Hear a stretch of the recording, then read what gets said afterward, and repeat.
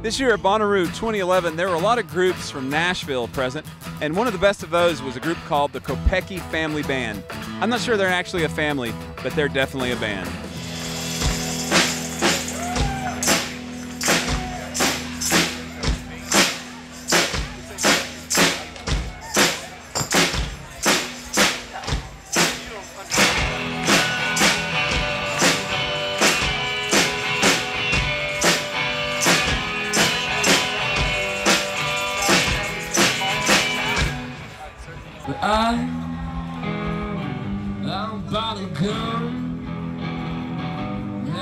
Shooting, just for looks.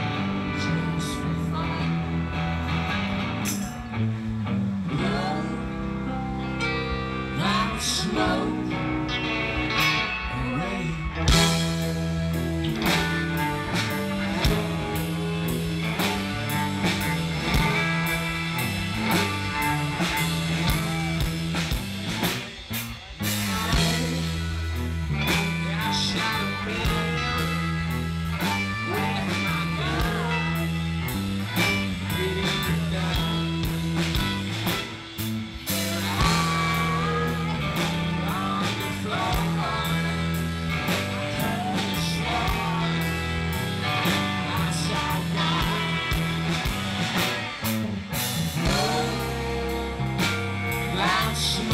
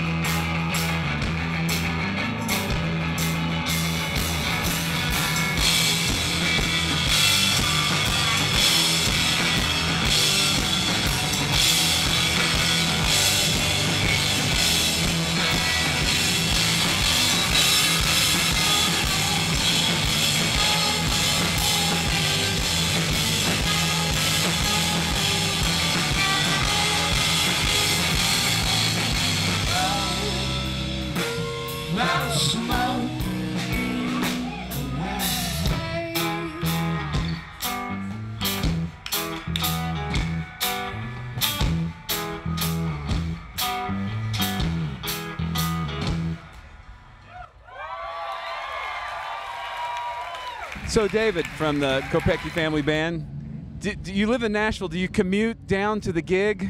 I do live in Nashville. I'm originally from Denver, Colorado, um, but we we all actually went to school in Nashville at Belmont University, and that's where we all met. And so we're all now living in Nashville. So yeah. But are, but are you camping here on site or at home? Do, at home, do you go home at night? No, it's it's a No, weird no, question. we um we're camping. Uh, we didn't we didn't come very prepared though. We we came here in a like 15 passenger van and a trailer. And so we have all of our gear in the van locked up, and then we have the trailer just wide open with all of us sleeping in the trailer. Kelsey lucked out and is, is sleeping in a bunk on one of those buses um, because she's she's a little sick right now, but the rest of us are roughing it. Ha- do you camp in real life? I love camping in real life, but not fake life. Bonner, just kidding. I like camping in all and everywhere. But yeah, tonight, well, last night I just had, I kind of am fighting a sinus infection, and so they they let me stay in the bus, which was really nice. Well, the 15 megatons of dust that you just breathed in today probably won't affect that at all. Do you think that's, that uh, a, a rock band walking around on site breathes in more dust today than a, like a typical teenager in the Sahara Desert? Yes, definitely. it's true. What was uh, doing the Tiny Desk concert like? Uh, it was so much fun. It was crazy. I actually was a little bit nervous. I think just because I respect NPR so much and Bob Boilen and Steven, um, they're just kind of have become good friends of ours. And I, yeah, NPR, that was very exciting. Well, since we're an NPR affiliate, uh, we, we love you for saying that.